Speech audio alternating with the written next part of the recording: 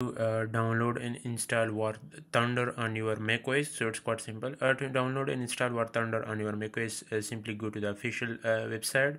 And in there uh, when you are uh, downloading the downloading the game on and opening the website on your macOS then it will be directly downloading the macOS launcher or you can simply click on the macOS as well in here. So next you need to click on the download game button and uh, next uh, click on this download game button. So it will automatically download the macOS launcher for your device.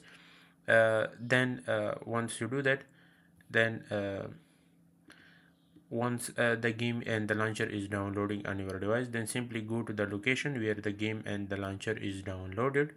And there you need to open the launcher. Simply right click on it and then press on the open button so uh, this uh, window will be show with you. So you need to drag the game file to the application. And once you do that the war thunder is installed on your device.